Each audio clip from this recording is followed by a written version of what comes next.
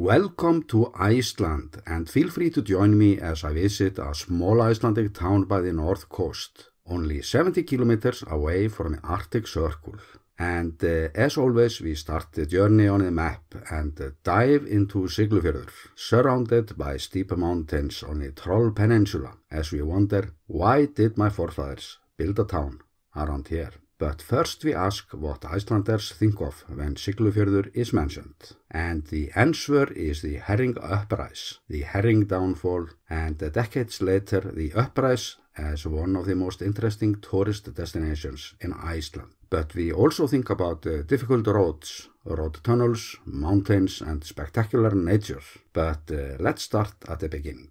The early history of the town is shrouded in secrecy due to isolation, which uh, made the town a kind of symbol for disobedience to the Danish authorities. But Iceland was for a long time controlled by the Danish crown and uh, until the late 18th century we were under the shackles of the Danish Icelandic trade monopoly or since 1602. That meant that the people of Siglufjörður were obliged to direct their trade to Akureyri, the capital of northern Iceland. But the isolated Siglufjörður took the opportunity to trade with the English, the Germans, the Dutch or just any ship that passed by because it was so hard for the Danes to keep an eye on the villages since the only chance to get to them was by ship. So the locals would do things their own way, like buy alcohol from the foreign ships and even resell it in Reykjavik for profits. But it wasn't a big town back then though, and hardly even a town. The early settlement was on this small peninsula by the mouth of the fjord, and it was a shark hunting community, and the origins of that settlement can be traced back to the 11th century. It was the proximity to the fishing grounds that kept people there, but uh, after a great storm where the settlement was flooded, boats and houses were destroyed and many drowned, the settlement began to move into the fjord where the town stands today. But the big event that was to mark the town for all time to come was the arrival of the Norwegians in 1903. There had been uh, whale hunting close by since the late 18th uh, century, but this time they came after the herring and uh, they brought new types of uh, fishing equipment and taught Icelanders to go after the silver of the ocean, as the herring was often called, and the Klondike of the north became a reality. Every bit of land in Siglufjörður was used under piers and factories, and the Norwegians got the best locations as they led the way, and uh, many of them would settle there permanently. So Siglufjörður changed from a village with one muddy street with turf houses into the most uh, international town in Iceland, where in uh, 1911 in total 23 bars could be found in town. The turf houses disappeared to make way for uh, more modern buildings built for the herring profit and Siglufjörður became also the worst smelling town in the world since the herring was not only salted but also used to make fish meal and fish oil So in addition, the town got the reputation of being the ugliest town in the country. But the pollution from the factories was not all bad, since it was always uh, fish meal in the air. And people say that the mountain slopes around the town turned green during those years because fish meal is of course a good fertilizer and the hills are still green today. And like in Klondike, life was all about work and when people were not working, they were often having fun. So Siglufjörður got the worst reputation a town can get. When the weather was bad and many ships in port, it could be as many as 12, 14,000 people in the town. And when this incredible number of opportunistic fishermen from different nations came together in a town where uh, there were 10 times more men than women, There were often fights and no ordinary fights.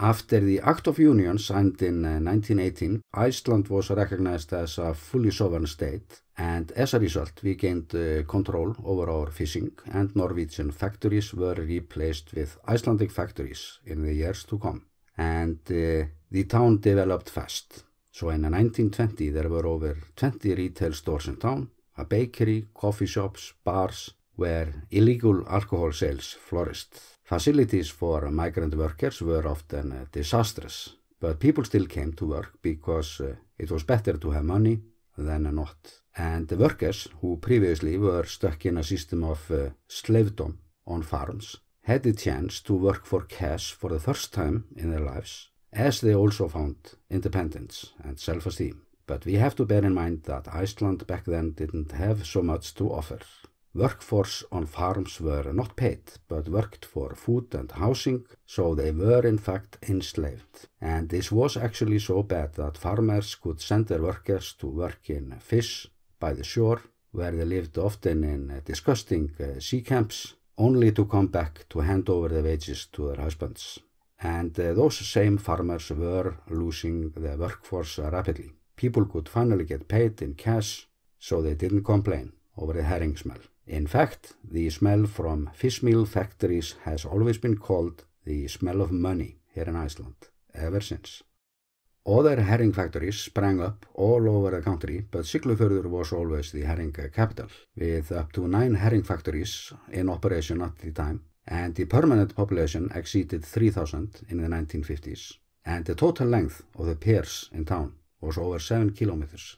And it is really amazing to see all the business activities at that time, but there was a printing press in town that printed books and magazines like Tarzan and Superman and they even had uh, four local uh, newspapers. The pharmacist opened up a soft drink factory which uh, would later move to Akureyri and become the basis for the largest beer factory in Iceland today. And there was even a furniture factory in town. But the wealth had its own price tag. One of the factories was hit by an avalanche in 1919, killing nine. But it was located on the other side of the fjord and since then it has never been built there or where those remains can still be seen. But overall, this is a period that is looked at with a certain romance today, and the romance was there for sure, despite the hard work. The herring season was an inspiration for painters, photographers, musicians, and their work would later become a part of the cultural history of Iceland. And the herring girl was always the center of attention. But the hardship that came with the job was not always visible through the footage, nor in the music that still lives on.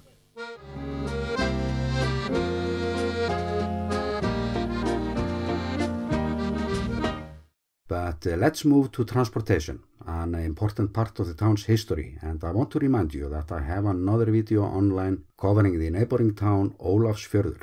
But the stories of those two towns were to be united by tunnels But first, let's take a look at the obstacles. The town is surrounded by uh, high and steep mountains, and uh, at first it was only possible to go there by sea. There was a horse trail through a mountain pass above the town, and according to old tales, the mountain ridge was so narrow that it was possible to sit on it and rest your legs in two separate counties.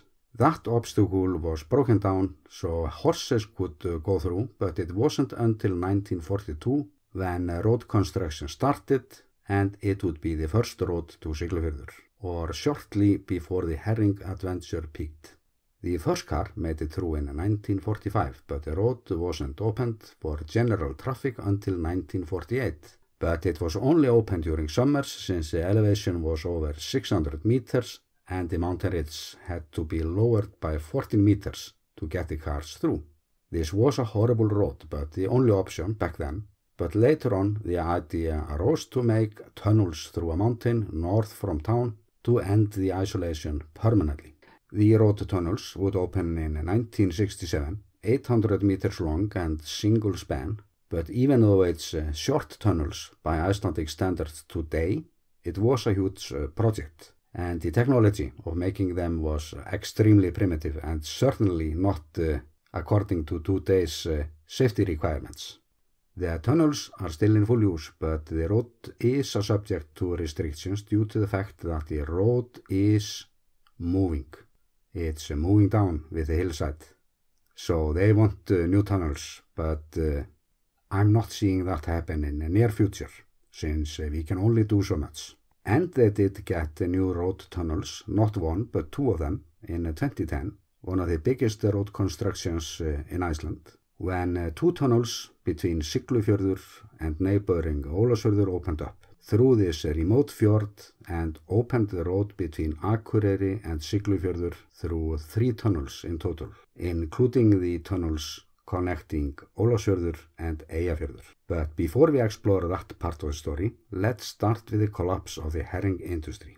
It was between 1960 and 1970 that it became clear that the glory days were over as the herring stock collapsed and the town entered a period where it became only a monument, monument of greed to some, and the decaying piers and factories became a symbol of uh, unsustainable uh, optimism, and the consequences were even worse for the national treasury.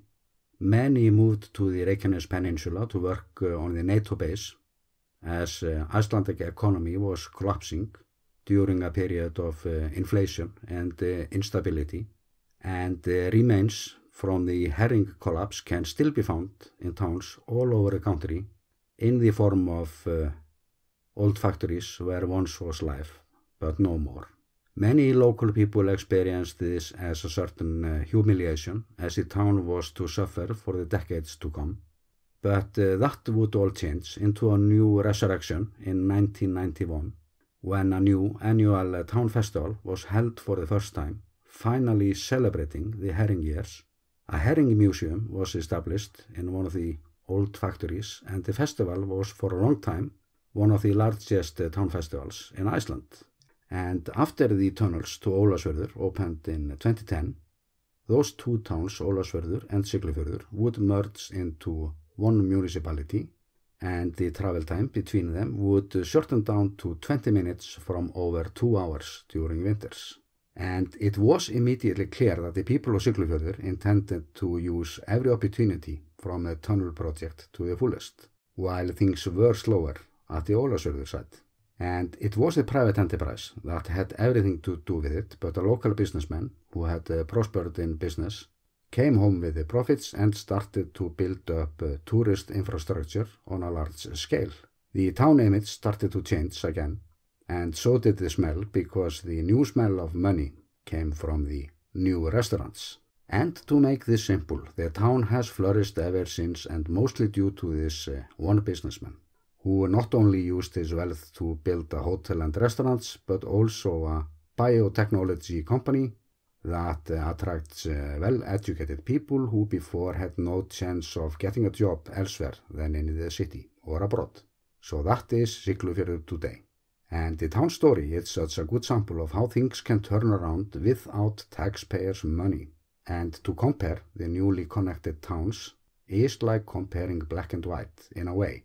But again, you can see that better in my video about Ólafsörður, but I recommend that you take a look at that one too to understand this region better.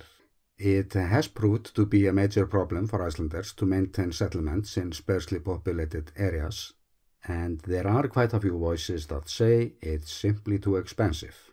And they are right to a certain extent, but the fundamental question is always, what kind of country do we want to live in? And uh, when I come to Siglufjörður on a beautiful summer day, while the town is full of tourists who are enjoying the history of Iceland in its uh, original environment, I see that everything is possible indeed. But the initiative has to come from the locals and the money. And it's also a big decision to make a town go through such changes since uh, some of us like uh, the privacy of our smaller communities better than the tourist traffic. But uh, in relation to the development of the population, it remains the same or around 1200 people. But at the other end of the tunnels in Ólafsjörður, it has declined. Mainly because they did not go after the tourism like they did in Siglufjörður. But then we need to look at other factors, such as the low winter sun. But in Siglufjörður, you won't even see the sun from November 15th to uh, January 28th. And snowy winters are not for all, but the risk of avalanches here has been reduced a lot. Because after an extremely tragic event in the Westfjords, where 30 people died due to avalanches in one year, Icelanders had to reconsider the risk of avalanches in many villages and since then a number of defense structures have been built and it's a project that's uh, still ongoing. Siglufjörður was one of the first towns to receive those defenses and fortunately they were well designed to fit uh, into the landscape so new vegetation hides the lower structures but higher up in the mountain there are steel frames that are clearly visible as we fly over them and we can see very well the risk that used to hang over the town but that threat is no more. And the snow isn't all bad, of course. It is no coincidence that over 50% of the youth here goes uh, skiing on regular basis, but the ski facilities are in a valley inside the fjord. But in January 2021, an avalanche destroyed a house up there that was used by skiers. But I was up there few months later trying to drive the old road that's only open during summers but this year we had to back out since uh, it was still much snow there in June. But it is one of my favorite uh, roads in Iceland. And on the whole, it is a definite uh, defense victory that I see in this rough and uh, sparsely populated area or to have been able to maintain the town population through the last decades. But the tourist industry is a big factor of course and the town that used to be by the end of the highway is now by the highway and it's a part of a tourist concept that we call the Arctic Coastway or a route that spans 900 kilometers or the complete north coast of Iceland that's possible to drive now. And the road's theme is diversity and it's also a good tool to distribute uh, tourist traffic more around the country because uh, Many of the hottest areas in the south are often overcrowded with uh, tourists, while business elsewhere could be much better. And a part of a good visit to Iceland should be to sense the wilderness, go berry picking on a mountain that you have for yourself for a while, watch the northern lights where there is no light pollution, and overall breathe in the nature, wilderness and history. And this landscape and this town is still an inspiration for artists but the 2015 TV series Trapped that has been distributed uh, worldwide was filmed almost entirely in Siglufjörður and the second series as well so the uh, so-called uh, movie location tourism is also on the rise. But the town offers more than nature, history and a movie set. There are numerous galleries, workshops, museums in town and of course a swimming pool, sauna, gym and a golf course. It's possible to camp in the town or around the town and uh, I just love how much the town has to offer. Not just uh, hot dogs and a lame museum set up with government funding, but that's all you can see in many of our smaller communities. Siglufjörður is simply a good community and I'm ending this today by telling you about uh, one of the many monuments in town, or this one but it's a statue of a man called Gusti Guðsmaður, or Gusti, the man of God. Virtually all the money he earned during his long life as a fisherman was donated to children around the world. He sacrificed everything for his mission and trusted in his Lord for safety at sea in all weathers. So I'm linking to more info in English about him because uh, he's a part of the town's soul and it's easy to feel the gratitude from the locals when his name is mentioned. But this was the story of Siglufjörður, a thriving community close by the Arctic Circle, a community of uh, stubborn people who uh, learned to live around those mountains, and on my behalf, it's a highly recommended uh, tourist destination, just as all the Arctic coast road. And I will continue my journey around Iceland with a new episode soon, and please consider to subscribe to support my work, since uh, this series will span all Icelandic towns by time, with the hope that it's not only educating, but helpful when it comes to make the most out of your own trip to my home country, Iceland.